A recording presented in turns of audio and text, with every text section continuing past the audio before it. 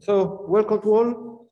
And uh, before starting with today's topic, uh, we will first uh, uh, make an announcement. So professor told you that today we would have discussed the exam rules. Uh, we were uh, reviewing the exam rules slightly with respect to some aspect that we found last year less clear. So we didn't get the time to create the final version. And so today we will not discuss them, but they will be discussed by me next Tuesday. Okay, so the lesson of next Tuesday will be the one in which we will discuss together all the rules in the latter part of the lesson. And we will present some example of good projects and bad projects. Uh, and eventually this material will be made available by, for you to start uh, uh, in advance reasoning about your project proposal. Clearly, you probably are already reasoning about it, but uh, those rules will help you understand the procedure. And uh, if uh, uh, read carefully at least three times, uh, one when we present it, one when you present the initial proposal, and one when you submit the final material for the exam, will avoid you to income into into you know not not uh, recommendable errors okay? That in the end will be will be highlighted by us because if we do them it will mean for us that you never accessed those materials. So this was just to uh, anticipate uh, this that probably was uh, told you last lesson. And uh, it, apart from it uh, we restart from where we left last time. We, we started looking at how to govern uh, axis, so how to perceptually communicate information about visual encodings mapped through scales into a visualization, uh, both on Cartesian plane and in other part. We even looked at SVG shapes, so this was the axis. Then we looked at SVG shapes, but primitive, how the general hierarchy of SVG of scalable vector graphics works, and what is possible and what is not in this matrix. Uh, the, the low-level uh, behavior of the SVG standard that we will never use, and instead we were starting focusing on how to obtain complex representation that there were uh, in some cases line that we started looking at how to to work with it, and we saw that to define a line, we just need to define the scale that govern the different uh, positions, the different uh, coordinates of uh, where we are drawing this line in a two or three dimensional space, uh, and very easily how to use the line constructor, that is one of the primitive of the SVG standard, to draw them by simply passing the uh, invocation of the relative scale with respect to the uh, field of our data set that we already choose to map in the corresponding scale. So quite easy and a lot to obtain, uh, like you see in the picture, quite a powerful way. On the other hand, uh, we restart today by looking at a second way to do the same things. Okay, so this one allows us to create a line okay, where the line is clearly defined by all the, in this case, the couples of values that takes features one and features two accordingly, okay, that define those control points of the line. Please make attention that in the real drawing, this point will not be visible in this way. These were added later. On the other hand, we can even choose to obtain uh, a similar things in a different way. Okay, so what we what we have done here is just preparing the data. As we said last time, here there is no drawing of the line itself. There is just a preparation. First we prepare the scale, then we prepare the line. But the line is still only in the data. Now we have to draw the line. How do we draw something in D3? We already saw a, a lot of time we have, uh, we use the selection, binding of data, and eventually uh, evaluation of the mismatch between those two spaces. and then the appending part. This is valid when I don't know a binding among data and visual elements. But in the case of the line that we defined here, or in general, whatever paths, I want to define this, this time I know exactly how many line I want. In this case, I want a single line, okay? When I have to match multiple data to a single visual element, and this is the case, the visual element is just one, one line, but the data that I use to draw this line are multiples, one for each of the coordinate of the control points that define this line, in this case, this arc of parabola. When I have this, so when I know exactly that I don't want an exact matching, but I want a mismatch, and the mismatch have exactly one and only one element in the visual space and many elements in the data space, uh, I can follow a different, a different, uh, a different approach. Okay, that is visible here. In this case, we are effectively drawing that line. Okay, and normally a line in D3 is in SVG a path. Okay, so what we are appending to our SVG area is an object, an SVG object that is a path. We want this path to be data driven, and so we would like to pass data to it, and we can. But this time we are not passing data like we normally are, are uh, supposed to do, okay? We use a different command, that is the command datum, okay? We saw only the command data. When we pass the command data and we pass an array of data to it, we already know that it computes a number of visual elements equals, potentially equals to the number of uh, data element governed eventually by the enter and exit uh, selection, okay? When instead I use the instruction datum, I'm already mapping uh, one-to-one representation, okay? Means that it will match whatever I pass as the data that will be considered as a single object, so not uh, 1000 data tuple, but one data itself, not important on how many elements it encompasses, and it will get matched to exactly one visual element, okay? So let's see what we are doing here. We are passing to datum the array of our data that here is called object, but it could be called however we like. And this object is effectively the data set that contains in some point feature one and feature two, okay?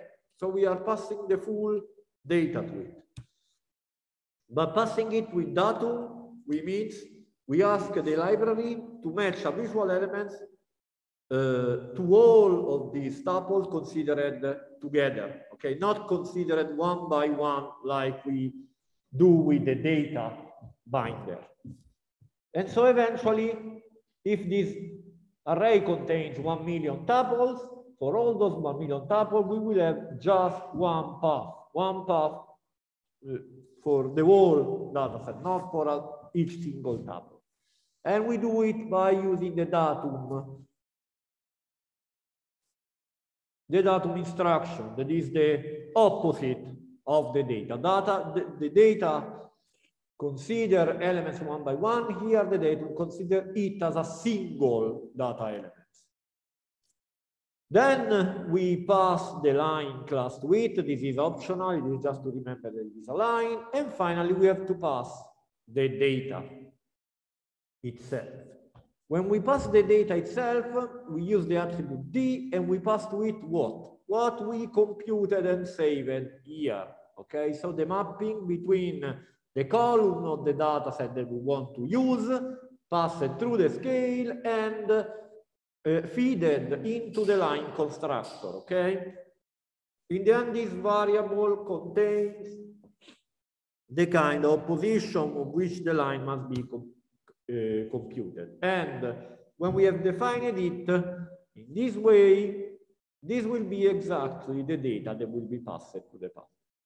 Please pay attention that this instruction and this instruction are mandatory and are somehow linked, okay? So we cannot pass here a data set that is not used when we define the line constructor here, okay? Would have no means to do that, would be inconsistent.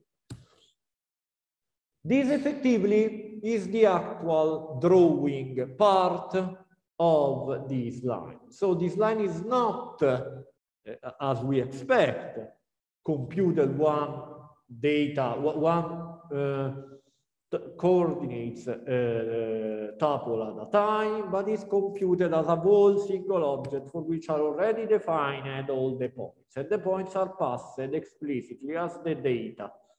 How do they are passed? They are passed through the line constructor. Given that this is a path, we can, we can append a path and we apply to it whatever other primitive constructor that uh, we have in the library, okay? Like for example, even the polyline or, or the, the polygon or whatever, okay? A path is a general uh, element that encompasses many of them. And clearly, before doing it, we always need to having the, the relative constructor in D3 because the D3 dot line is an instruction of D3, is not anymore an instruction of the SVG standard, define it. Defining it, as you see, it asks for defining its coordinates, whatever they are. If you want a three-dimensional, we have a dot z, for example, or whatever. And defining these coordinates require us to having predefined the scale, the scales that will govern the mapping. So it holds in a pipeline, okay, that we go, that we traverse backward. First define the scales, then assign the scales to the constructor of the element that we want to draw. Finally append the element, passing the constructed uh, element in D3 to the uh, append uh, instruction of, of the generic path that we want.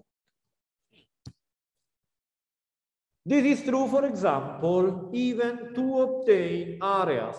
Okay, here we saw how we defined a simple line. But what if we are interested in defining areas? We can define areas with the same principle, uh, so straightforwardly, uh, but using a different constructor. Why? Because in D3, an area, apart from the generic one, like this one, that are already defined by themselves, so they are the relative element in the standard, more generally, for D3, an area is uh, a space that is enclosed by two or more lines, okay?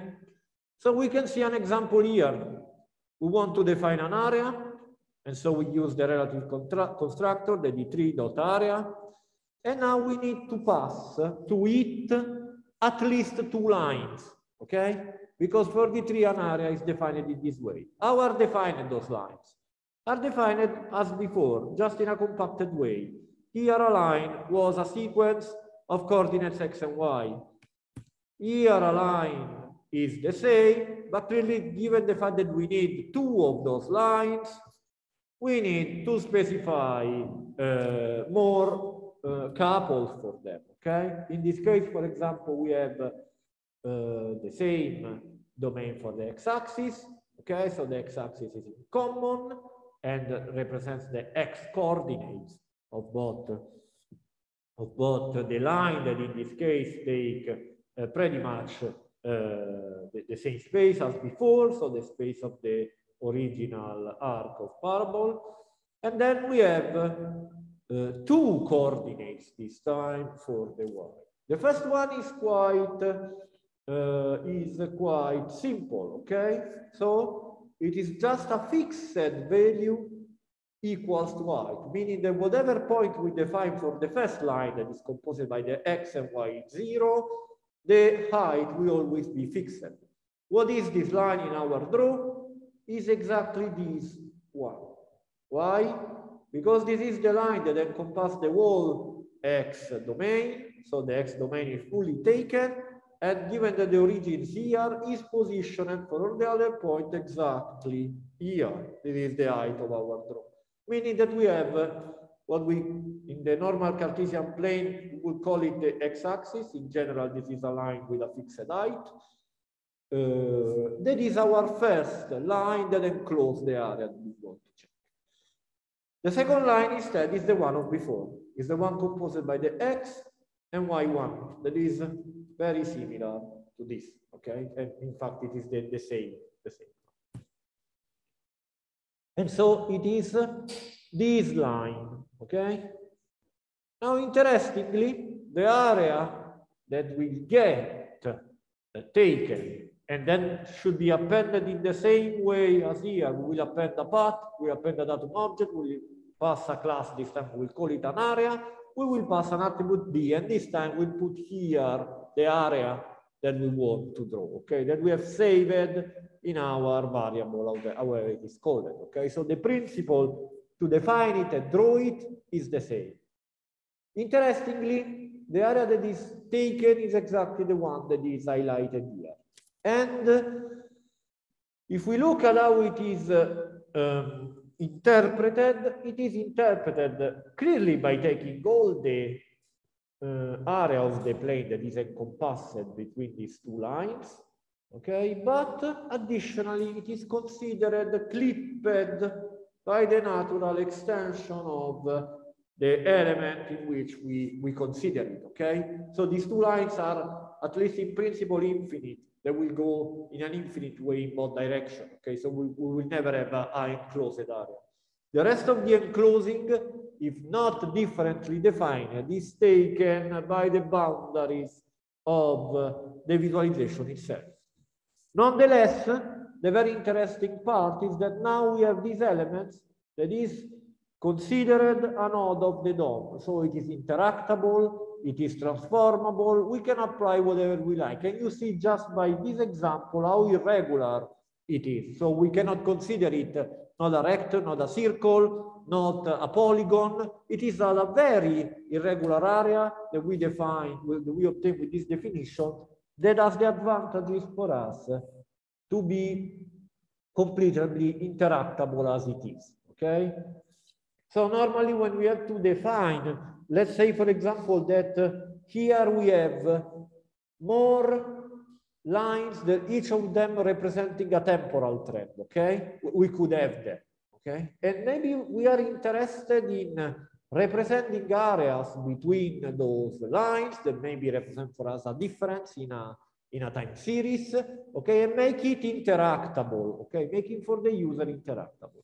So probably first we will go to draw the line according to this principle, so defining the two or more, let's say just two temporal trends that we want, and then we can recover the same mapping to even define visually the area that is in between them, okay? Just because maybe we want them uh, colored differently or maybe because we want it interactable in terms of difference between, between those trends. And those are the way in which we can, we can uh, do.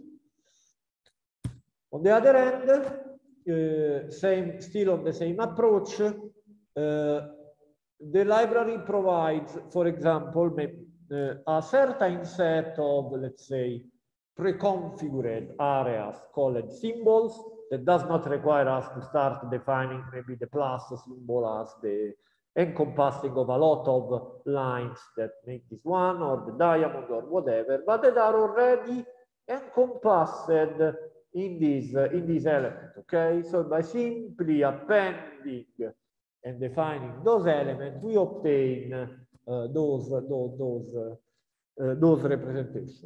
Please consider that these are usually helpful not so much for defining uh, for defining a complex visual encoding, but maybe for be quickly used in the case maybe we need them. I, I make an example. If you want to encode the shape, uh, the shape visual feature in a scatter plot, maybe here we already have a set of seven predefined different shapes, even perceptually, that we can use, in which maybe we will assign to each of them a different category of data that we have, okay? So this allows us to, to govern the shape without having to, to spend a lot of time defining them, okay? So usually are, those are convenient way of obtaining this, uh, this, uh, this behavior without the need to, uh, without the need to having to redefine them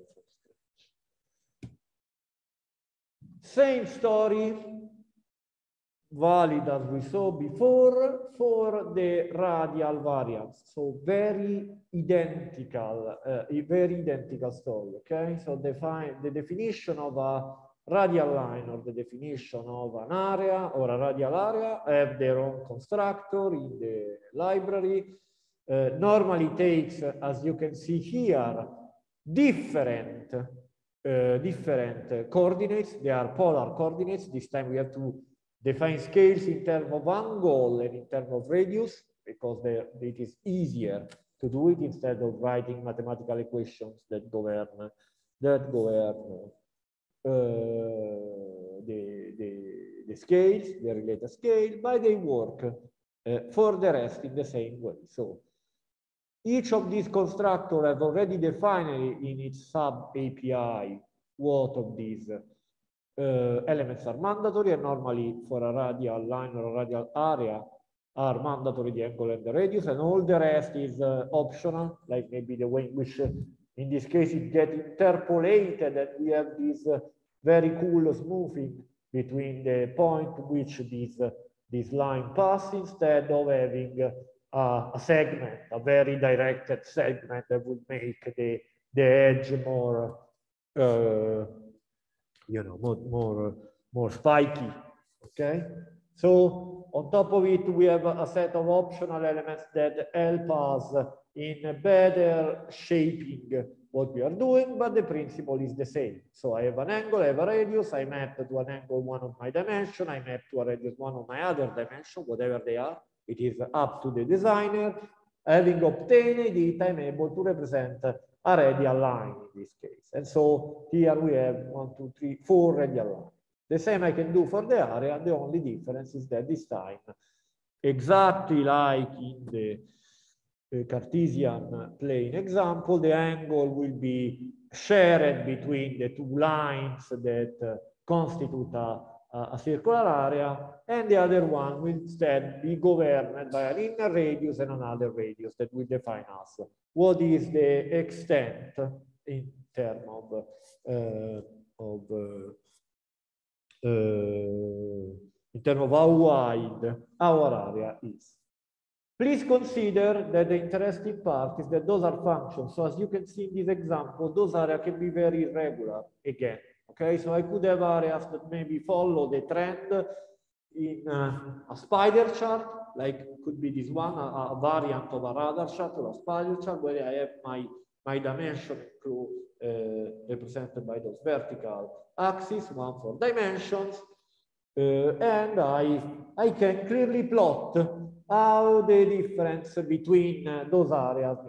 If you consider this area maybe connecting a box plot defined on each of those axes, where maybe a distribution of one feature is more compact like this one, while the other is more wide like this one, this is an example to obtain uh, a chart that allows to interact with an area that represents the same quartile for all the box plot. Okay, so the maybe the the lower limit, the lower quartile, the upper quartile, and so on. Okay, obtaining a very easy way uh, to not only check them visually instead to having to check just one box plot at a time, but eventually even to be a fast way to select by maybe clicking on an area all the similar quartile of a box plot with respect to all the dimensions. Okay, so obtaining the ISO, the ISO area related to the same box plot quartile. And this is very easy to obtain it is just needed to pass the, uh, the correct data to those constructors that are invoked, that are invoked uh, for each line and for each area. So this will be invoked four times because we have four lines, and this will be invoked three times. When I talk about invoking, I talk about defining them, in terms of which data we pass, and then drawing them in terms of how they get shaped. One consideration with respect to the initial point-to-point -point mapping, we see that here we have to do a little more work. Why? Because we are not anymore managing the binding between the data and the visual element. We are effectively instructing the construction of each of them sequentially. Okay.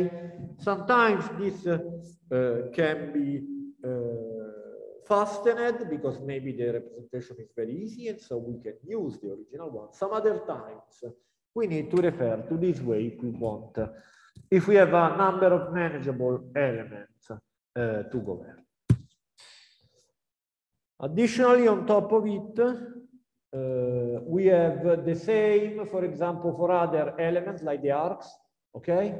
I, will go a little more faster here. So we, we saw the, the more general, the line, the areas, the radial line and radial areas. Then we have an arc that is a specialized area, essentially, the, for which nonetheless a generator exists. Usually it is very helpful when we have to draw pie chart or semi pie chart or more general donut charts.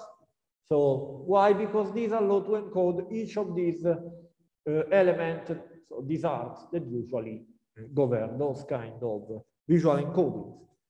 An arc in D3 is very easy to, to define, sorry, not in D3, in SVG, it's very easy to define. It has an inner and another radius, a start angle and an end angle. Clearly, if I have a start angle of zero and an end angle of 360, I can even uh, express them in uh, degrees. And I don't have any outer radius, but only an inner radius, I obtain a pie chart, okay? Because I obtain a full circle with a fixed radius that goes from zero to uh, 360 degrees, okay? On the other hand, by just playing with these uh, with this uh, coordinate, I can obtain all the other variation. Okay, so if I put it to 180, I will obtain similar to this uh, uh, a semi, uh, the base of a donut chart. If I pass even another razor, I obtain exactly a donut chart, an Emmy donut chart eventually, uh, or if I do the wall things, I obtain the wall, and eventually I can obtain whatever other kind of variation that I have. For example, I could even have uh, a tachymeter chart maybe is just limited to the first uh, the, the first uh, quadrant, okay, or whatever. That's up to me to choose. Nonetheless, the constructor all the time is the same, so we don't need to uh, pay too much attention to which kind of constructor we use. This get transformed in D3 into this. That is quite easy. Again, we have the D3.arc uh, primitive uh, instruction and we pass to it directly because it is a sub API. So it works exactly like this or like this. So these are not attributes like those one. Uh, so generic attribute, but these are, these are exactly sub function that can be invoked only on the uh, D3 primitive considered as an object. Okay. So again, exploiting the double nature of having a function that works also as an object on which you can invoke additional properties. And here, they are just defined uh, the, the two radius. Uh, and eventually, if we not define anything different, it still works, but takes presets for the other part. And what uh, normally are the presets are that the that the angle is full, so it takes the full uh, circumference, uh, and the uh, and that if not defined, only one radius exists.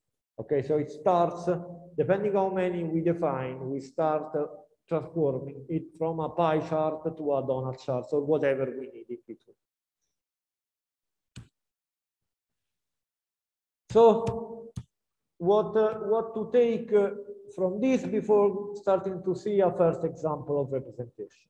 Uh, in order to model and to map certain visual encoding, we introduced a certain set of elements, okay? For all the visual encoding that allow to define, uh, they can be defined on a Cartesian plane. We define scales and axes. And so we can represent easily just these two constructor plus the right shapes, uh, scatter plot, line chart, uh, and similar elements, uh, bar chart.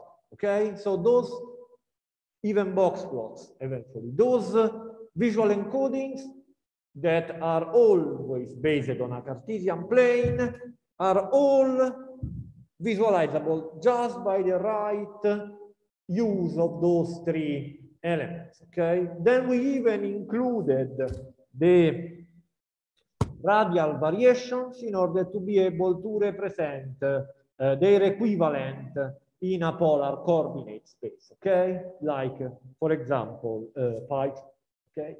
On the other hand, I want even to say that for more complex visual encodings that, uh, that exploits different geometric equations, those usually are not sufficient. I make an example. If you want to represent uh, tree maps it could be very difficult to just use these three elements to govern the whole story. It would require you to, to define the whole geometry that, for example, govern that visual encoding in which the space filling approach is mandated. On the other hand, let's take, for example, the case of parallel coordinates. In the case of parallel coordinates, we have all the elements that we need. We can define scales, one for each of the vertical bar, we can define axes, one for each of the features that we are governing. We can define lines because lines are simply uh, passing, is a, a polyline that is passing for each of those elements for which we have the scales and the chart. And so, for example, with just these three elements, a line, a D3 dot line, a set of D3 dot lines, uh, axis and scales, we can represent a multidimensional a multidimensional visualization that is not originally defined in a Cartesian plane, because that is a multidimensional plane, but of which visual representation can stay in a bidimensional plane. In order to try to see how they are in action, let's start from a basic example, okay? So the basic example that we are going to see is represented here. This is a, a scatter plot. This is a complete scatter plot, and it is instantiated on the iris dataset. The iris dataset, for people that don't know, is a very basic toy example dataset that simply represent uh, variants of the iris flower, okay, with respect to three of its characteristics or four of its characteristics. The example is available uh, is available uh, in the in the folder uh, that got shared with you. And normally should be what is called a new scatter lesson. Let's first check it. To, to check it. It's the right one. Yes it is. Uh, and then let's go to see how effectively gets shaded. So this is the effect that eventually it will have that is very similar to the, to the picture that I show with you, but let's go look at how it works code, not simply uh, looking at the, the final result. So this is an example of a first full uh, visual encoding, okay? So a first visualization that in this case encompass the whole screen, but this time it respects the visual mapping that we provide and it uh, it is data driven this time. So it is not a set of the circle that we put whatever we like, okay? So the first part of the page we will go very fast. So we are not interested in anything that are title or, or whatever. What is interesting for us, and it's very important, is that at this point, this area is composed of two div. Okay, so usually this is part of the layouting that we already processed two lessons ago. In this case, the layout is very, is very easy. There is one div called a scatter view and one div called a pie chart. Okay, So the original design probably encompassed two, two arrays, okay? And then there is nothing else. In fact, the body, the body stops here, okay? In the header, uh, probably uh, nothing has to be defined in this case, but maybe the uh, other thing could be done. Then there is, there is the import of the library in the first script. This could have been even moved into the header. Usually would have been better to have this import into the header, but uh, no problem even to have it here. And this is an open-ended and closed tags. And then we have the code that govern effectively the whole visualization. Let's go check it. So first of all, there is a definition of a margin vector, okay? That uh, it's very important in order to avoid that again, our visualization get, uh, get truncated, whatever. And in this case, it's a little bit more structured, okay? So we have our vector. This vector is a key value object in JavaScript. So it is an object of four key value pairs. For each of them, we have defined whatever name we like. And we are able to touch just one part of our visualization to eventually readapt the margin when. Right now they are all equal, but this is not necessarily the case. Then interestingly, we have what I presented you last time. So first of all, we go reading what visual space we had available. As you can see here, we take the, what are called here complete width and complete height as the reading of those properties from the window object. Okay, the window object is a dynamic object of the page of the browser, sorry, that returns in real time the, the available space. Okay, pay attention that I use an inner width, but here you could have a lot of other kind of width defined. There is even an outer width, a width alone or whatever, different browser interpret them differently. But nonetheless, we recover here the kind of dimension that we have of our window. So effectively, what we have from here to here, okay? Maybe if it was a phone, it would have been a smaller, a smaller, a smaller area. Then we compute what will be effectively the actual width and height for us. So not the outer with the complete with the complete out of all the page. But what we would like to have an, active draw with space, okay? That are less than this. So for example, we subtract from the complete width the, the two margin, left and right, and from the height the same, top and bottom, obtaining the effective area of, of drawing, okay? Eventually the area in which we will define uh, our SVG we can do it here or eventually we can do even procedurally here doing the same. Finally, we have other pre-processing steps. For example, here is defined what is called a side square. Uh, for us, a side square will be the size of the square that is in the legend. Okay, so the legend that we were seeing here. Okay, so this is this is kind of uh, preparing things. And all of them are not dependent on the data. Those are just of visual space, so they can be started. Then we have a first step in doing this that we will call the preparation step. In the preparation step, we anticipate. So here it is, let's say, the initialization step. We initialize whatever is possible. Independent, completely independent from data, completely static.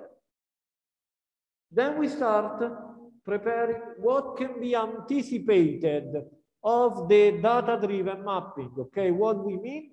We mean that the, the element that we put here are elements that in the end will depend from the data, but from which we don't have all the elements to fully define. So for example, here we have the definition of the three scales that will govern our pie, our scatter plot. So the linear scale for x and y axis, the color scale, and eventually the related, the related axes that are defined but not invoked. Okay, let's go look even why. We have defined the scale, but the scale is incomplete. Why? Because we can define for it only the range. The range we can, why? Because we already computed the correct width so the, the width that will be uh, exactly matched with this part. Uh, sorry, not that, with, the, with the, this part of the drawing.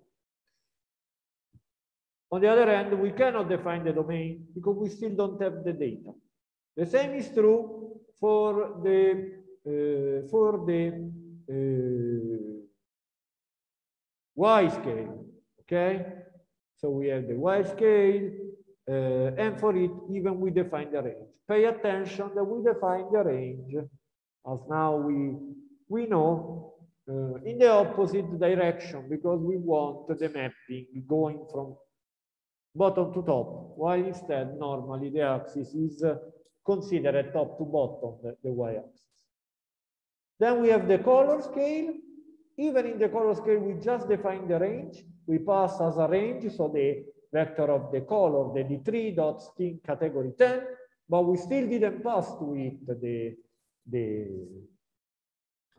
the domain, or better, we know that the domain exists, uh, but we still haven't matched it.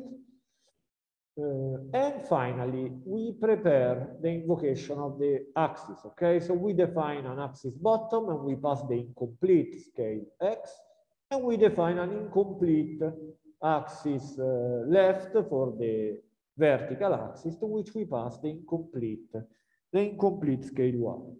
Again, those, all of them are uh, incomplete definitions, okay? So they can, not, nothing of them can be effectively drawn now because we miss, we miss the, the data. But we can anticipate all those steps. So for example, we already defined all the three elements that we need to govern this. And then at this step, we start, and eventually, if the draw was different, this step will have more or less uh, scales and axes depending on what we have to create. Then we have the step two, that is initialization of the drawing area. Okay, a drawing area is completely independent from the data, so we can immediately draw it. Okay, and we will follow the classic element that we now saw. So we pass, we, we select the div accordingly, in this case, the scatter view div that we define here. We pass to it uh, we want to append to it an SVG area, so we will append an SVG. We define for it width and height. Pay attention that width and height in this case are the complete width and height, are not those width and those height that we extracted here to anticipate the, the, the scale. The rationale is very clear. The scale must to go from here to here, or maybe better, sorry, from here to here, not from here here, okay? While instead SVG area must go for all those areas. It, it the, the SVG area must not be drawn just here. Otherwise, all the elements that exceed it will be lost. Okay, so the SVG area will be full.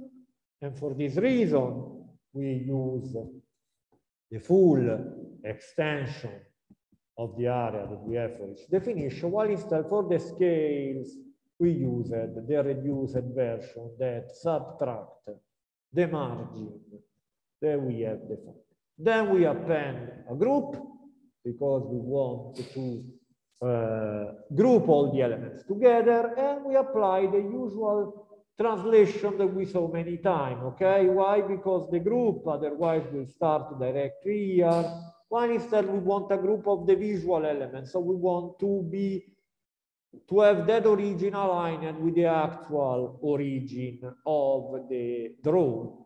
And so we translate that point from its absolute position that would be at this corner to this position. So by simply subtracting the margin left and the margin top, that eventually position our group here. Again, if you remember last lesson, given a group, we cannot pass it a and height. A group will take whatever is appended to it later. And so to defining it, we can just we can just append it and position it wherever it is.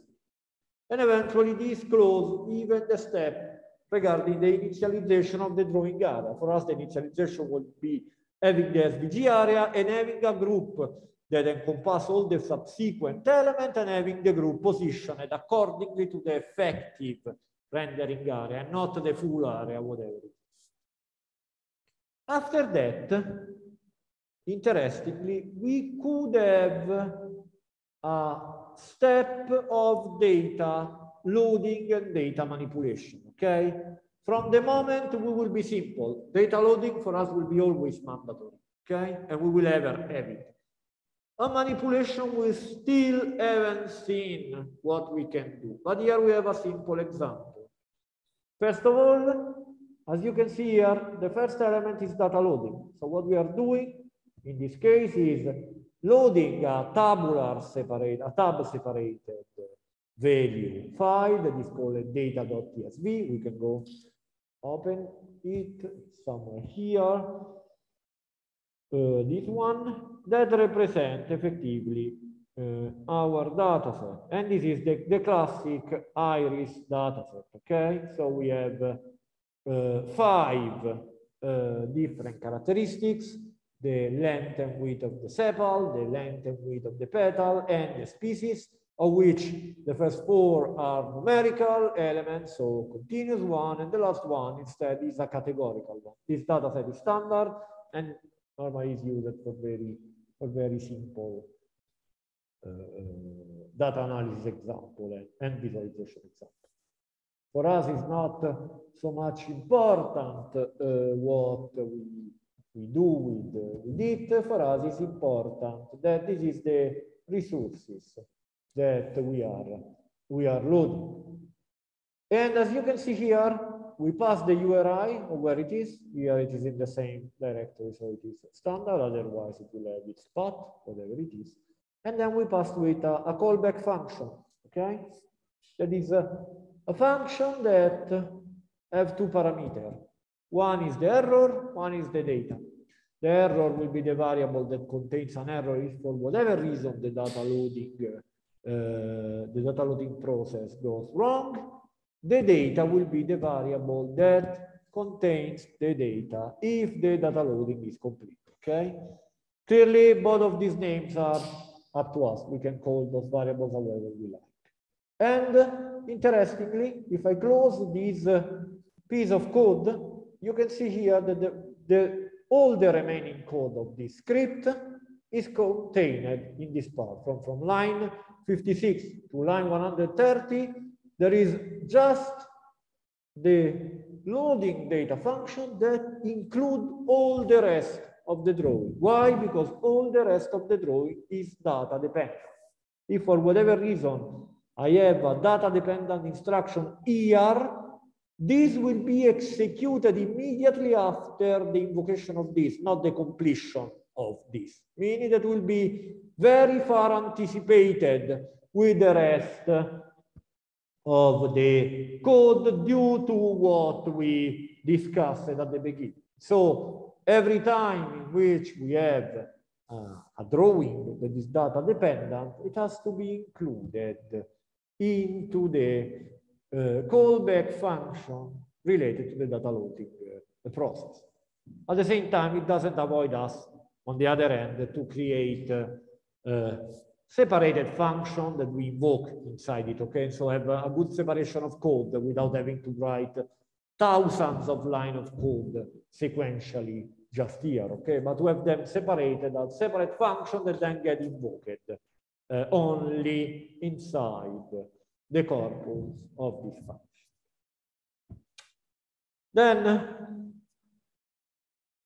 immediately after, having loaded the data, usually the data must be prepared to be to be used. Okay, uh, we still didn't see the whole thing of the story, but now we have an example of it. Okay, so for example, here we have explicit casting of the dimension that we want to use from this data set from textual nature to numerical to numerical uh, uh, to numerical nature. Okay, so we all know that when we first load whatever data set inside uh, a JavaScript page, all those data are strings, no matter what, how they present themselves. And so we need to cast them to numbers you know, the, the numeric one at least, in order to be worked with. And so, for example, we see here that we ask that for each tuple of the data array, we invoke a function that essentially takes the data for these two uh, features, sepal length and sepal width, and assign to them the casted numerical value of them, effectively representing them from a string to, to, to a number, to a numeric value, okay? This is, uh, let's say, the most basic form of data preprocessing, okay? We are simply, we are simply casting them in the right, in the right data types. On the other end, here we could have more complex functions that maybe have to load the data and then shapes the data differently with respect to what maybe the visual encoding ask for or whatever, okay? So normally, after the data loading, we always need to think about a data manipulation step that will prepare the data for the mapping and the render. Here, it is not so much uh, uh, complex, and so we, we, we take it as it is. Okay, usually this part is mandatory for all the numerical features. Let's say that in our example, this is enough. And the second part that we are going to do is to complete what we anticipated uh, in the uh, preparation phase. Okay, in our case, we need to complete uh, three scales. So we take the X scale, this time we just invoke the domain for it, and what we pass to it? We pass a complex, not so much, not so complex, but a concatenation of, of two operations, okay, that normally must be read from the inner one to the outer one, but it is, you know, clear. So we want the extent of a feature. So we invoke the extent function and then we pass to it the data set on which it must be invoked, that is the data one, the one that we loaded, and then we pass to it the accessor that we want to get, okay? This is a multi-columnar data set. This part will return to us just one column, okay? So the column, the array that contains the values for just the column sepal width, okay?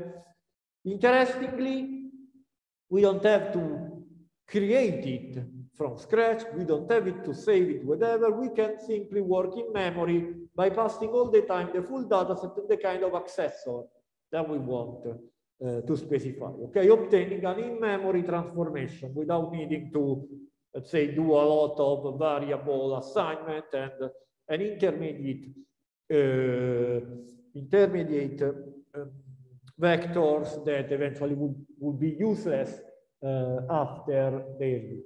In particular, in this case, in which we are not even interested in the in having the full column, but the full column is just useful for us to be the argument of the d3 dot extent that return to us the minimum and the maximum. And the minimum and the maximum will constitute the domain.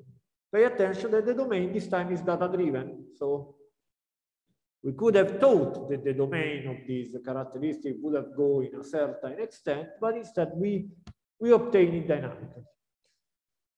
Eventually, here there is uh, the classic console log to, to check how things are going. This is just for debugging purposes, so not, not very important. And the same is true for the domain of the other dimension. The same uh, the same approach is used, okay?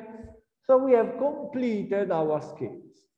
Interestingly, we said that we need to complete three scales, not two. We completed the first two, but strangely, we did not complete the last one. We could ask us why. Normally, we should do this, but we remember that it is an ordinal scale, okay? And so we saw that last time that the ordinal scale has some interesting properties that allow for a dynamic binding of elements where needed. This is the reason why it is not completed. We will see later how this works. But normally, if we want to be very strict with what we are defining, here we should have extracted even the domain from the uh, species from the species uh, column. What is the problem? let's go check it, is that unfortunately the d3.extent part works very well with numeric element, but what does it mean for us an extent of a categorical column? Okay, where one value is setosa, one value is versicolor, one value is Virginica, Virginica, and so on.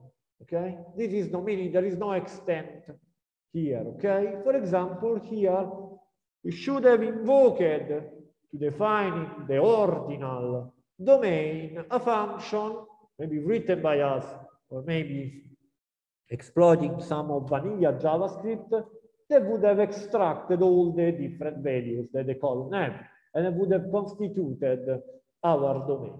On the other end, at that point, would have obtained an order of those elements just aligned with the order in which they appear in the dataset. There would be another characteristic that maybe we are not interested. So maybe it is a drawback for us, or maybe not. But eventually, what was very easy for uh, numerical feature become a little more complex for categorical. Then we go, we still have to go to complete things. We have completed the scales, but we did have not completed the axis, okay? And we did have not completed them in terms of the rendering. So what we're going to do immediately after is to govern the rendering of the axes themselves. We see an example for the x-axis and the y-axis will be equals, okay? What will you do? We define another group, we class it, so we remember what we are putting here.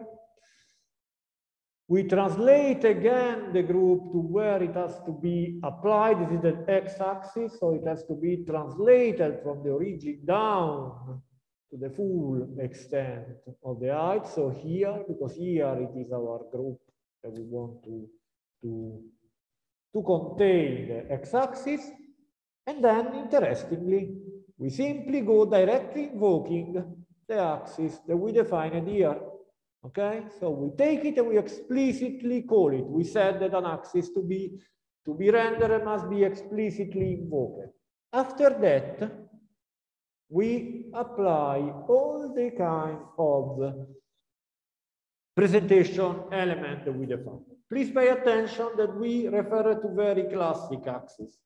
We didn't define ticks for them. We didn't define other characteristics. If we wanted them defined, we should have defined here or better, because those would have been complete here. So before appending them, we should have retained the variable containing them and maybe add further characteristics like at that point, the number of ticks, uh, the kind of rendering, and so on.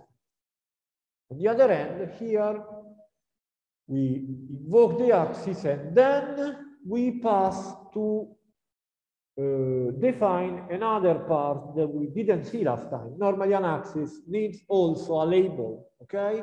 So we choose to continue this rendering, adjusting, not adjusting, uh, sorry, uh, adding the piece of code that govern the the label text, okay? So we want to append a text, we want to class it in some way, here we call it label, we could called it whatever we like. A text can have a width and height, so we passed with positioning exactly the far uh, bottom right corner of the of the effective area, so at the margin of the effective area, but still included into the complete area for what we have prepared before. And then we pass to it uh, what kind of text anchor we like. For example, we, we define a text anchor and what we mean, it means that the text will never exceed this corner, but will be brought before it using the final position as an anchor. And finally, we pass the text itself, okay? So at the end of this styling form, we pass the actually fixed uh, label that we want to be, to be used for the uh, for the label, for the textual information that we like. The data with and the visual unit, this kind, this kind of centimeters. We do exactly the same, almost exactly the same for the y-axis. Uh, so the axis does not change pretty much anything. And we don't have even to translate it. Why? Because the axis has already to be at the beginning, at the origin of the story. So we don't need this, this translation. It is already well positioned, at the group. But this time we have a little bit more complexity, not so much, to be honest, uh, into the uh, label for it, okay? Uh, the label for it not only get appended as before, but get rotated in order to be aligned with the with the vertical verticality of the axis, so get rotated by minus 90 degree, and eventually get displaced in order to manage the distance between the, the point in which it has to be to be drawn and eventually uh, the dimension of the text itself. The, the, the rest is, is similar. In the end, this uh, visible here, for example, we result, less visible, a little, it will be uh, Uh, visible here where we have the, the, the text. So just slightly above the, the axis and eventually the other one will get positioned vertically still and trailing with the, the, the text accordingly. Then finally, we want to go drawing elements.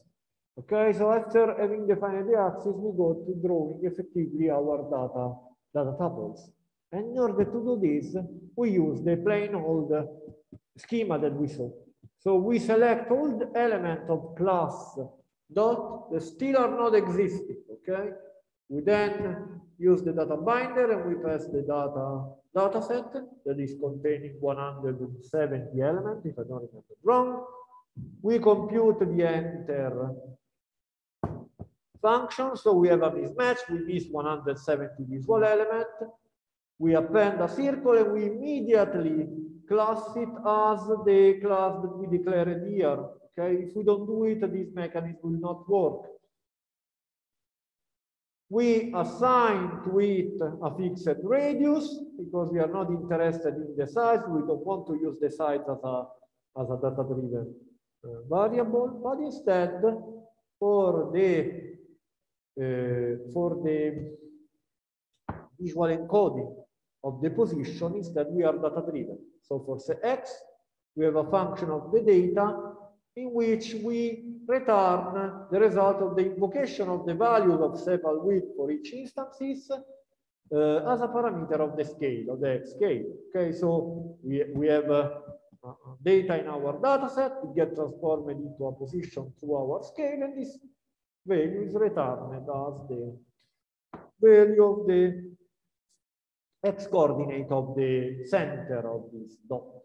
And the same is done in a more compact way uh, for the uh, CY, okay? So those positions are all dependent on two different features, the X position on sepal width, the Y position on sepal length. And effectively, eventually allow us to spot how those two features behaves in this data set, okay? If they are correlated, if they are anti-correlated, if, if they are uh, so negatively correlated or uncorrelated. Okay, that is usually what a scatter plot is used, or eventually their their distribution, their mutual distribution, the plane uh, defined by those two dimensions. Finally, we have even a third property that this time is a property of the style. So we don't use anymore the attribute instruction, but we use the style instruction. We want to have the fill color again as a function of a data. And in this, uh, this time, it is a function of the species uh, column of our dataset. That was the categorical feature, the one that listed the species of the iris that were inspected. Interestingly, even here it is directly called our color scale on the value itself. This could seem an error, uh, and, and, then I will answer the question, okay? Uh, first I close this part on color scale, and then I will answer a question that I have on the chat. Uh, that is quite before, sorry for saw it just now. So the, this could seem an error. We have a color scale, but we never defined a domain for this color scale. We just defined an ordinal scale and we passed uh, color vector to it as its range. So how can we invoke it? Something that we didn't define as a domain of this case. Now, this is an interesting property, usually valid just for ordinal scale. And it is based on the fact that an ordinal scale, in particular a color scale, uh, get can get defined incrementally, meaning that at the beginning it can have no domain, and then uh, when categorical element get uh, invoked for it, they get incrementally uh, added to a domain, to the domain of the scale, meaning that the domain of the scale is incrementally updated as new elements get invoked, okay? Here we have a data binding, so we will repeat all this code for all 170 tuples, okay? And if you remember the data set, the first 10 or whatever, we can see it again, were uh, have the same, had the same uh, species, okay? So the first, uh, even more, so probably the first 49 have all the setosa elements, so just one element of the species. Okay? And interestingly, uh, for the first 49, our domain of that scale is updated just by the invocation of the scale. And for it, it is reserved in order the first color that is in the region and so on continuing. So the more we get invoked, the more we are incrementally updating the domain. So effectively constructing the domain in real time. Please pay attention that this is only valid for pure ordinal scale, okay? So it cannot be applied in the same way for um, a continuous scale. A continuous scale used in this way would have returned to us an error telling us that we could not uh, write this invocation because we did not define it. So before continuing, there was a question. Uh, so if we want a input, what should we put in color? With map, I mean one that more collision, there are more brightness. Okay, interesting question. So sorry to answer just now. This is probably related to the color scale.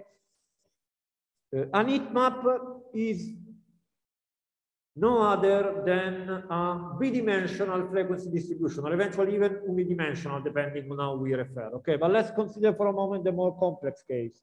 So a bidimensional element, okay? So we can consider it like a 2D bar chart where the bars take both uh, x and y dimension, but the only things that count is still the numbers of elements that fit in each bins, okay?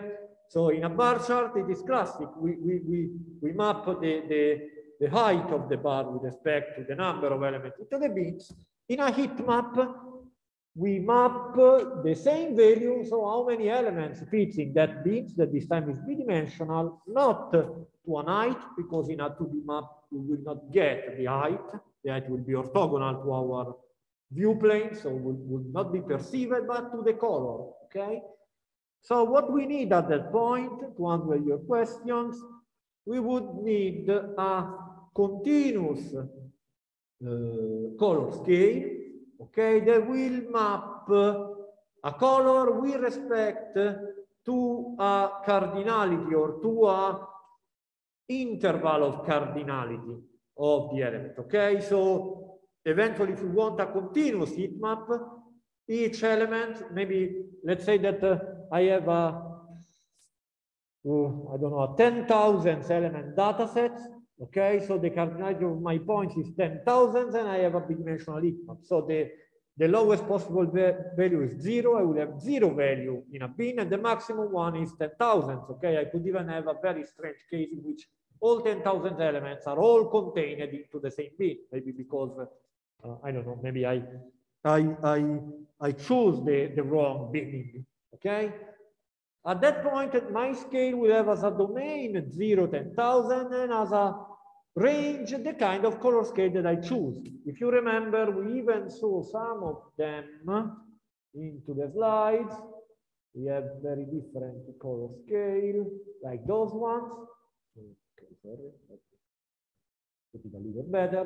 Okay, for example, this is a scale that can be used for uh, for uh, an heat map, for example, in order to distinguish, or there are even one better fitted. Those are continuous uh, color scale, and we remember that in D3, a continuous color scale always goes on a domain uh, normalized of 0, 1, but I can easily obtain my normalized domain in your case by simply choosing to uh, uh, divide my minimum and maximum by the total amount of tuples that I have, okay? And eventually I get the mapping that at that point map my extent 0 10,000 to all these scales and each of the each of the eventual values in between that my different bins could have will return the, the, the correct color. Okay, so when we are talking about an heat map, it's not so much important if it is bidimensional or monodimensional. These are just to do with where we place our bins. What is important, we are always mapping data distribution, so cardinality of data to color. And in order to do that, what we have to use all the time is, uh, uh, is a continuous color scale, okay? That help us obtain the continuous very fine-grained value. On the other hand, I can even choose to discretize this part, maybe using an ordinal scale. And at that point, I will have a, let's say, a discrete heat map where I, I pass through quantized, uh, through quantized interval, okay? They are very less used, but sometimes for perceptual issues, they could, they could do. So I hope it answers your questions. Uh, while we return back to uh, to the code, to the example code. Uh, so we, we saw how we assign even a color to our elements. And now, eventually, our the, the, the plotting of the data part that is interesting for us will be completed. It will be exactly how we see here. Okay, so we have our different species of iris plotted around. For example, we already saw it, otherwise I will tell you. Maybe we see that two species are quite intertwined. They, they demonstrate some sort of correlation taken by themselves, but they are quite mixed in terms of variance of iris that we have. Instead we have interestingly, a very separated species that does not behave with respect to the other two. Our question could be, yeah, very good, but what are those species? I'm able to understand which are the values, and so even to understand where these, how this correlation potentially behave, what are the outliers, uh, here. But I'm not able to interpret one of the visual coordinates I used. So the color, why?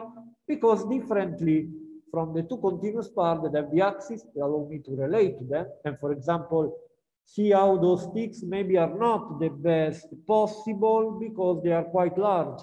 So for example, if I have this point and I have to relate its, its uh, y position, I'm a little in doubt because I have between 1 and 1.5, but maybe I can think that it is near 1.2, but I could not be so precise. So maybe it means that maybe the number of ticks that I have is not, is still not good enough. On the other hand, I can refer their values quantitatively. For the species, I can. Why? Because I miss a piece of code that governs me the equivalent of the axis. Axis works also as a legend, but for the color, we miss this part. We don't have a legend. And this allows us to insert the second rule for the project that is that in a visual environment, I always need to have in some place uh, legends that allow me to interpret what I'm looking at. So for example, if this chart would have been presented to us in this way, it should have been considered a, a grave error. Why? Because I have a color scale applied, but I cannot interpret it anymore. Okay? Normally, uh, for example, this is very valid for color scale, but even for other kind of mapping that we will see in future lessons. And where not present, we always need to remember to give this key of reading of our chart uh, to the user. Now, for axis, we saw that exists a very straightforward way to do it, and we even exploited it quite compact. But unfortunately, for color scale, there is not this simple equivalent. So we don't have a very easy, D3 dot legend instruction that allow us to create a legend given a scale, whatever it is. The final part of this, uh, this drawing is exactly dedicated to it. So it is the part that needs to define the legend. One question could be, why I have it just here? I draw and everything, and now I start thinking about the legend. Why the axis we do immediately before the points, and why the legend for another course scale would be deferred up to the end. This question is valid, and normally this should not be done, but here is done for the reason that I told you before. Because the color scale will be complete only after this piece of code has been fully executed. Otherwise, we will not have the domain. And so we could not define whatever legend because the, the legend exactly depends on the domain. So normally, if I extract the domain Uh, uh, together with the other scale, I will draw the legend before the rest because it is it is semantically similar to axis, okay? It is a visual axis if you want to consider it, okay? That allow me to interpret what I'm looking. In case in which I cannot do it because maybe I exploit this property or maybe because my domain become complete after a series of data transformation, maybe exclude some data, maybe I apply statistical analysis that takes out outliers or take out categories or whatever that's, that could be done, I can choose to defer it at the end. Nonetheless, it is mandatory to have them always present. That uh, is even important uh, to consider in a more rich visual analytics environment where I could have more color scales around my, my visual environment, depending on what uh, kind of visualization they support. So please remember these rules because this will be considered a grave error if you present to us an environment where we have a visual mapping that has not a legend. This is valid for the color, but for example, could have been valid for the sides too. Maybe if I use the sides of the dot in order to communicate different characteristics of the of the iris. Maybe I could have attached one or another numerical element to the size or the shapes. If I use multiple shapes to define categories, I need a legend with the shapes and the name of the, uh, in this case, the iris space If you, if we spot in a visual environment that you present a visual mapping that has not a legend, uh, we will consider it uh, an error, a grave error. Okay, so please remember. Let's focus a little how this works. We said that we don't have a facility to do it, so unfortunately we have to do it manually in this case. What we do is uh, to create it similarly, so exploiting a similar data-driven approach as before. So we choose to create element of a legend. What we pass to it as a data? We pass it to as a data now the color dot domain. So we extract the domain from our color scale that we incrementally obtained and now, so we don't have to compute again on the data. There is a vector of three species here, because three species are present, and we pass it as the new data. So a vector of three elements. Then we pass the enter, enter uh, instruction. So we miss three elements that will be of class.let. We append a group, we class it legend in accordance to what we asked here. And now we do two things. For a moment, let's forget this part. This is needed because we need to move each of these group to the position we want. But let's focus on it at the end of the story. How an element of our legend will be done? It will be really easy. It will be a square that will have the same color as the element that we want. We see it here in this slide, okay? So here are the legend. We have these three squares, each representing one of the category with a text that tell us what kind of species we have. Okay, so what we need, it's easy to get a square. A square can be a rect with equal with an height. And we start, and we know that to define a rect, we need to define uh, at least uh, width, height, uh, x and y. Okay, now y is, I don't know for what reason missing, but we here even the y must go. And eventually, we first go positioning it, uh, for example, as you, as you see here, here we have an easy equation that returns a distance of pretty much 10% of the of the width, of the effective width with respect to the right border, okay? So we get the original width, we subtract width at 10%, and we get the position that is almost to the end of the area, even if not completely at the end. Then we pass to it with an and here return the original side square variable that we defined in 20 pixels, not the wisest choice because maybe 20 pixels are a few here, but maybe in a phone screen that could be too much. Uh, so here we could have defined it dynamically as a percentage of the width, for example, in order to stay consistent with uh, uh, changing resolution or changing the screen size. Uh, and eventually we choose to fill it with the function that returns the color scale invoked on the data. Please remember that on the data we invoked exactly the vector, a vector of three elements were setosa, versicolor, virginica that we extracted from, from the uh, from the color scale, okay? So we exploited the color scale to get back the data, not have anymore to scan linearly the, the original feature and obtain the, the single tree values that, that was there. And we repeat it for all the elements. Interestingly, we miss one important part.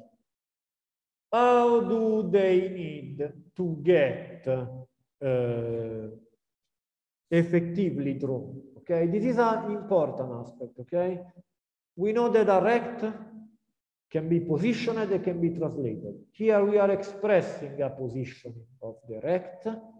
And if we comment this line, for example, all the rect will get initially drawn in the same position. Okay, why? Because here the y is not here, but would be fixed too both x and y will be fixed. They will not be data driven. Okay. On the other hand, this is an interesting part because we know the direct can get positioned and can get translated. So we can choose to start the rendering by positioning them all together in the same position and then to apply a transformation that eventually uh, position them as we like. And what we like we would like a sequence, as you see here, a vertical sequence of them, possibly attached or maybe slightly, slightly spaced. This positioning is not done by the code that we see here, but it's done exactly by this line of code. What this line of code does, it asks for a, a geometric transformation that is a function this time of both the data and the index of the data. And when we want to use the index of the data, we always have to have both. We cannot have a function just with the index of the data. That return what? Return a translation to zero, and that is very uh, interesting. And for the y part, so it does not change the position. Okay? This is invoked before. What it means? It means that at the beginning, these elements is drawn somewhere here, okay? At the original zero x of the story. The original draw is here.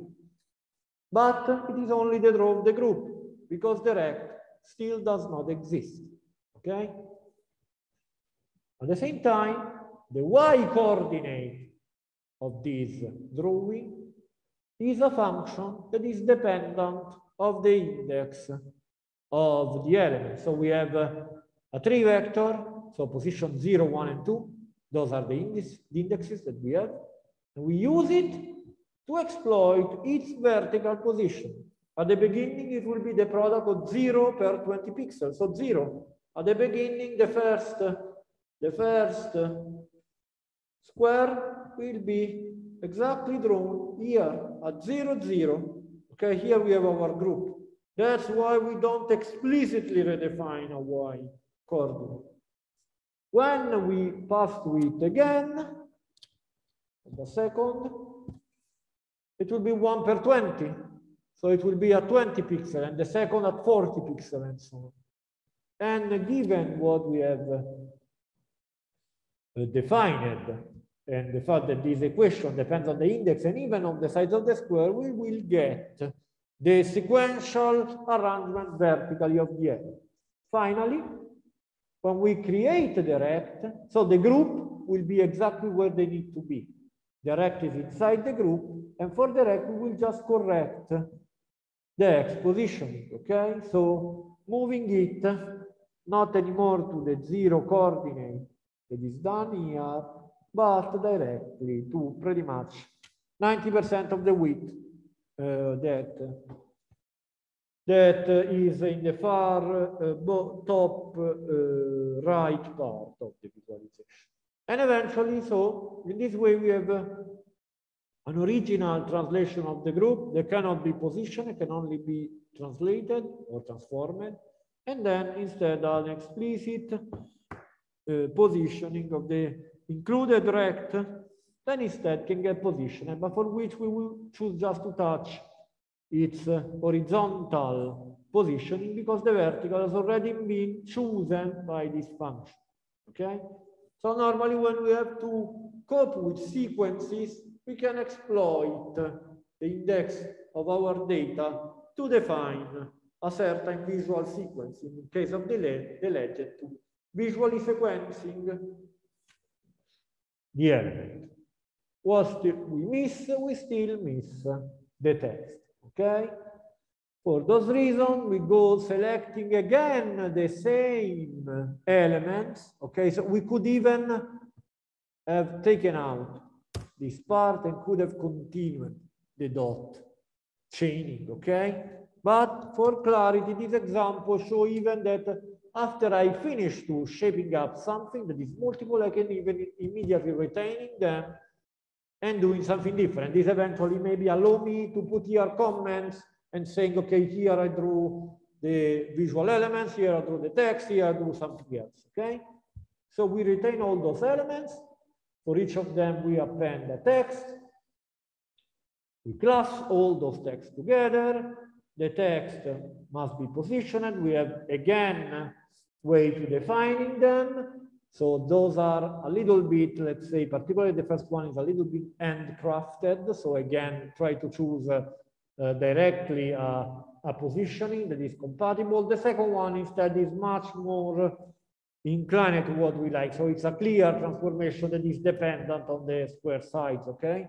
Both of them are dependent, but this one is quite, let's say, not necessarily good. Why? Because if my side of the square increase, this choice could not be valid anymore, and maybe my text would overlap with the drawing element, okay? On the other hand, instead, this coordinate is very good because it consider also the side of the square. So if the side of the square doubles, my text label will still be in the center of the enlarged of the enlarged text. You can try to modify the script for exercise uh, at in order to make wiser choice for this uh, positioning function. Okay. Then we pass usually dimension of the text and, uh, and text anchor. And finally, interestingly, we see even the example when we have to pass a text that is not static anymore, but is dynamic. In this case, we don't write something static like here, but we want to effectively print on screen, to available on screen with the actual categorical element. So we pass with to the text function, not a fixed text, but a function of the data that simply in our case return the data. Why? Because we are granted that uh, our data in this case uh, is uh, is uh, is textual. Okay, we didn't cast these categories, so this this this data by definition is a text. In case it was not, we should have casted it accordingly. For example, maybe by writing something like this, okay, that is very similar to explicitly casting a number like this one, okay? But nonetheless, given that we have the luxury that everything is a string, when imported in JavaScript apart, if differently casted, uh, we can rely on its interface. At this point, the whole rendering has finished. So it's closed and apart from very static console log that was needed at the beginning, that is not important, is finished also our script. So we have obtained a general way of working with, with uh, this chart. Two elements to consider before passing on. The chart is completely defined and for the most part is even dependent on where it is drawn. Why? Because it is dependent on this width and height that are elements that are passed to the to the effectively areas used to uh, to draw the elements. What does I mean? I mean that if tomorrow I change this area, this chart will refit the area accordingly, okay? Nonetheless, please consider that in order to do this, in this script, the original dimension are the dimension of the full screen. When we take the window, we are not taking a part of the element. We are taking the full space that we have in mind. As an exercise, at home, try to think about what should go here if instead we would have liked as we like to not use the full area, but just to use maybe an area that was already defined in the layout for the scatter view. Right now, the scatter view does not have any area defined, so the div take all the page. And uh, this is good for this example, but more generally speaking is an error because uh, we already saw that uh, in a real visual analytics environment, uh, we will use layouting. So we will never have the full window available for us, but instead we will have for each visualization a portion of this window, okay? So let's try to think how this code should be modified at the beginning in order to allow this draw to fit with width and height of a, of a div, not of a window. And clearly in order to have it. Or we need to have it defined before, or we need to extract it from the window, from the window characteristics, depending on how much space we want to devote to each of these elements that constitute our visual So any questions on this example, any doubts on how it works? Clearly it is completely static. Nothing can be interacted. But we obtained a first data-driven representation, not trivial, that follow visual encodings uh, rules and visual mapping. Any questions on how it works? Any doubts or, or others, both in the room, but not so many, just one, one people here or, or one person, or at home, or everything is clear?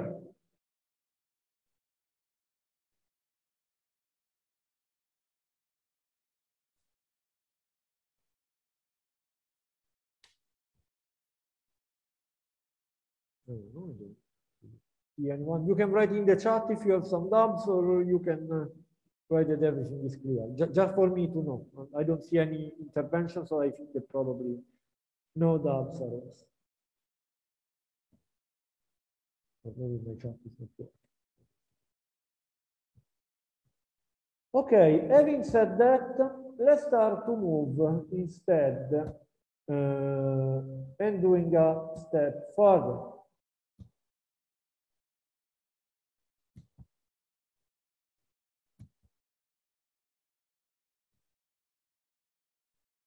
So in the pretty much quarter of hour that is missing, we start to look at how we can how we can move on from this scenario. So we now know how to visually represent something statically. Okay? To scales, axes, and whatever. This is a recap. And we saw a full example. But now we have covered just this part. So we are covering a little more of the visual analytic cycle, but still not complete. One part that compose the visual analytic cycle is the data transformation. Okay, so not all the time we will have all our data in the right form that is needed by us. Okay, and it is one of the limitation that we want to, to relax. Clearly, it is even one that is easy for us.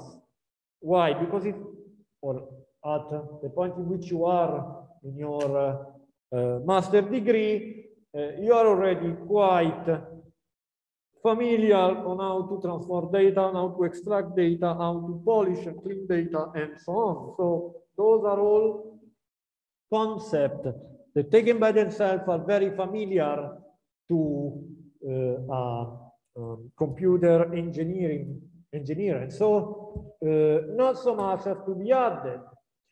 We just need to get a glimpse of what can be done directly inside the library and what instead cannot be done inside the library. So if cannot be done inside D3, we can choose to do it in vanilla JavaScript or to do it externally, like in our backend using different languages, like maybe Python, Java, C, C++, whatever you do, C Sharp and so on.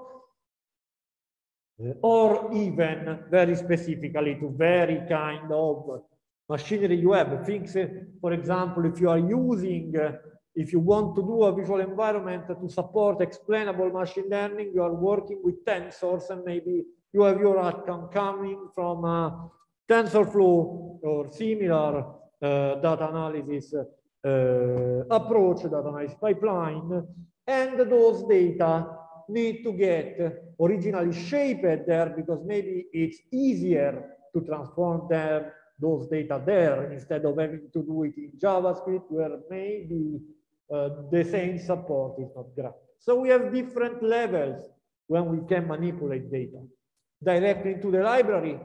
Those are very needed when we interact with visualization. Why? Because maybe the interaction of the user delete some data from the data that we have to present or add some data or create new selection, or eventually even create a new visual encoding that need the data reshaped, okay? And usually those kind of transformations are done directly into the D3 language. Or maybe those kind of transformation are general, like supporting the initial data cleaning process, or maybe uh, data uh, validation process. And eventually, maybe D3 does not provide all the uh, all the instruction to do that, but maybe vanilla JavaScript does, and so we can refer to it. Eventually are part of our process. Maybe you are applying a clustering, maybe you are applying KNN, or maybe we are applying some kind of natural language processing algorithm. So we can try to already obtain as the, out, the output from those algorithms the kind of data shape that we like, or eventually completely external. Nonetheless, in this cycle, given that the mapping could require for different visual encodings, depending on what we do, and we do it many times, we could encounter more times the need to transform.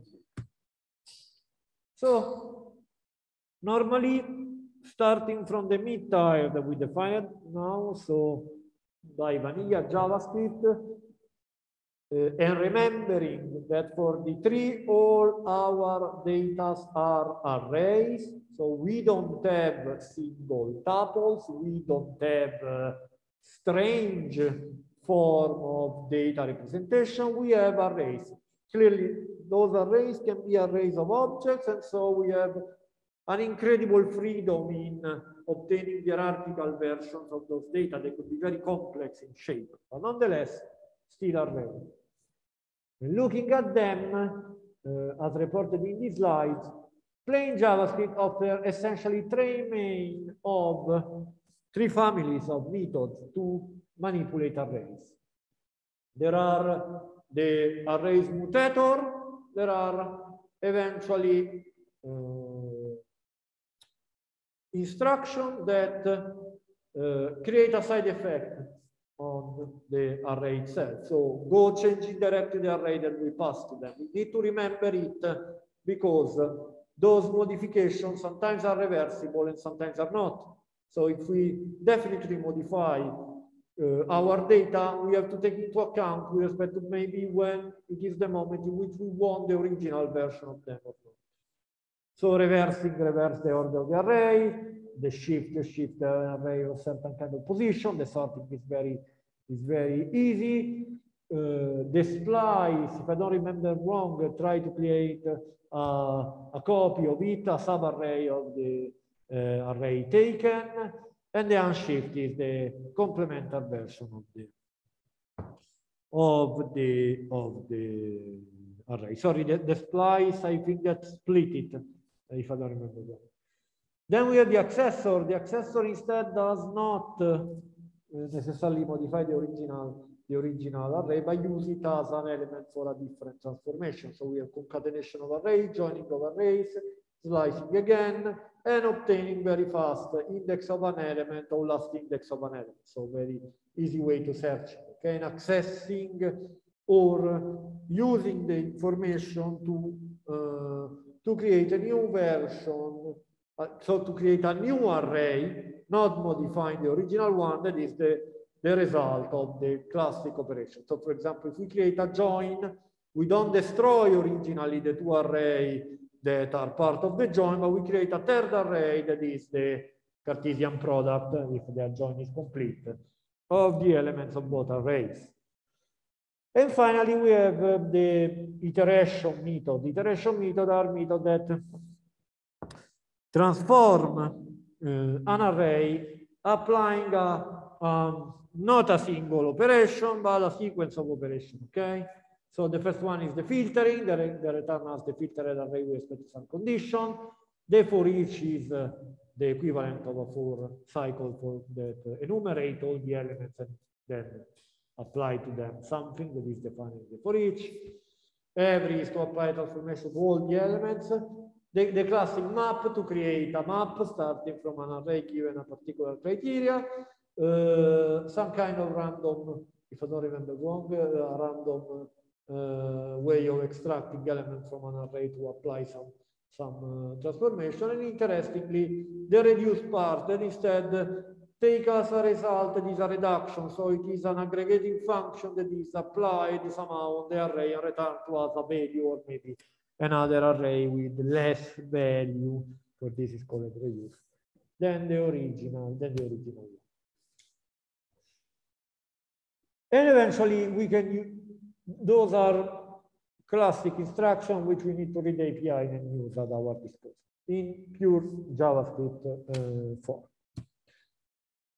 Some of them we will encounter, some of them are not. For example, if you remember in example that we saw before, we used that for each of vanilla JavaScript to cast all the numerical uh, feature that we wanted to use from string to real, to float values. On the other hand, instead, we have we are a little more interested in looking at uh, what we have available inside the library because usually it's a little more efficient than one is outside. So D3 allow us uh, to manipulate array and first of all allow us to manipulate the, the order in which those arrays are, are uh, okay? So changing the, the indexes and so the ordering of the element inside, okay? This is quite easy because it just asks to define a criteria. So to exist, D3 dot ascending, D3 dot descending, where we need to simply define the criteria that exist between two general attribute parameter A and B, very easy, probably you encountered even in JavaScript, the same things, and then these criteria can be passed to the sorting function of D3. We already saw one. So by simply invoking dot sort and passing to it the kind of criteria that we need. And so it helps us to sort elements. Then we already saw the way to extracting minimum, maximum, and extent. We went so in the example. So invoke them and pass the data and an to the data. Very simple. Additionally, it allows us to compute some interesting uh, statistical statistical indicator for aggregated analysis. Okay, so for example, we could very easy obtain the sum of all the elements in an array. So uh, obtaining it from the data to an accessor, mean value, median value, interestingly quantile, so we can obtain the points that govern visualization like box plot, okay, by simply obtaining from a distribution that could be a, uh, a column of our data set, the quantiles point that are needed in order to create the, uh, in this case, the four points that govern the quantile plus the median there will be the, the you know, the line that, that, that return the median. So by using those two calls, we obtain a shape. So new data are created and so enrich our data set that allow us to obtain the points needed to create in D3 box plots, okay? By simply constructing the box and the whiskers on the results of those arrays that eventually can be invoked on whatever column we have the dataset, eventually even all of them, if we need it for all of them. We have the capability to quickly shuffle our array. This is very important when the order of analysis could be a biasing effect. So maybe we have data that comes from um, time series, okay? We want to maybe construct statistics on it, but we don't want that the time in which they are produced biases our estimation. Okay, so for those reasons, maybe in order to avoid that the inherent bias of the time of production, or eventually even the bias in the time of collection of data, because maybe data being collected in a certain order, could affect our statistics. And for this reason, we can shuffle our array and so avoid to encounter this. This is particularly true, not if you analyze the full column, because at the point it will equal, but maybe if you allow the user maybe to focus on sub, on sub interval or it. At that point, if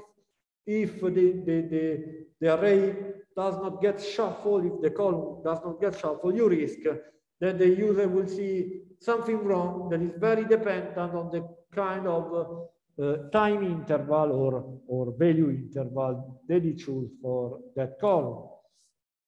And finally, again, still statistically, we can easily obtain variances of uh, an array and the standard deviation of an array if you want maybe to plot them in order maybe to create uh, confidence intervals or to create uh, statistical uh, indicators that validate that validate our our story. Uh, sorry, your visualization.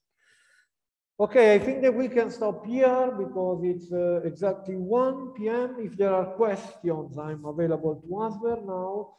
Otherwise, I just remember that the that during next Tuesday lessons, we will review the exam rules that will be illustrated here and then will be loaded into the classroom of the course after, after those illustrations. So please uh, be present in that lesson because then we will not accept or you have to review the rules by yourself or we will not accept that some of you will get to the exam with clear, explicit violation of that rules that sometimes will have an effect in lowering your grade and sometimes will have an effect even if not accepting, so rejecting your exam if not following. So that's all from my side. If there are questions here to answer, otherwise we will see again next Tuesday.